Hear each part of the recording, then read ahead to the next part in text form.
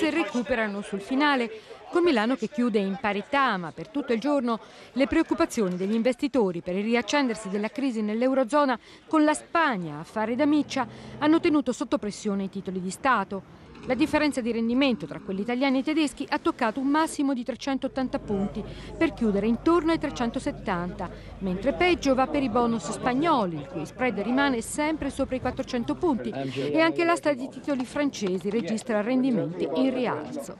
Per l'Italia non serve una nuova manovra, ribadisce oggi la Commissione europea, apprezzando la riforma del lavoro e augurandosi che il Parlamento la approvi presto. Ma certo c'è il rischio che la recessione sia più dura del previsto, se è vero, come rileva l'Ocse, che già negli ultimi tre mesi dell'anno scorso il prodotto interno lordo italiano registrava un meno 0,7%, il risultato peggiore tra tutti i paesi industrializzati.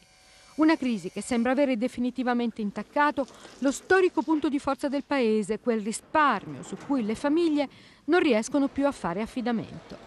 La propensione a risparmiare è tornata al livello del 1995, in calo dello 0,7% dal 2010, con una pesante ripercussione anche sul potere d'acquisto, sulla possibilità cioè per una famiglia di affrontare la spesa quotidiana. Pesante bilancio anche per le imprese, i cui profitti l'anno scorso sono tornati ai minimi da ben 17 anni.